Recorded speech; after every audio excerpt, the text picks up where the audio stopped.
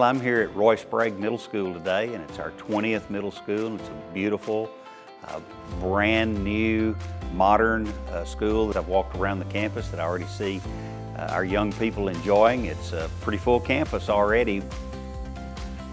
This is such an exciting day for us. It's a little surreal, honestly, seeing the educational village being complete.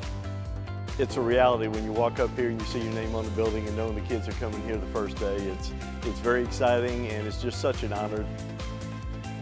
It was wonderful seeing the families walk in. And really, there were a lot of families brought their children today because Dr. Silliman, the principal, just invited everybody for the very first day. So excitement for sure is one of the biggest emotions because we have um, a new building for the returning students and staff to be in. Um, it's updated, it looks beautiful, and so there's a curiosity with that too. The students have not been into the building before today. We're welcoming back uh, our Ram Nation. Really excited. The staff has been amazing. Our students have been amazing as uh, I've been meeting with them. Uh, really excited to get this going.